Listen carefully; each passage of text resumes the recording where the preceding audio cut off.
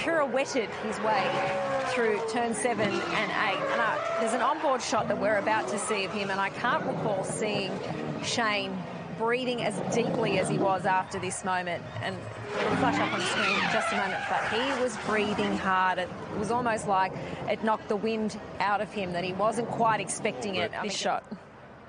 Yeah, just sort of collecting your thoughts a little bit, like, what just happened?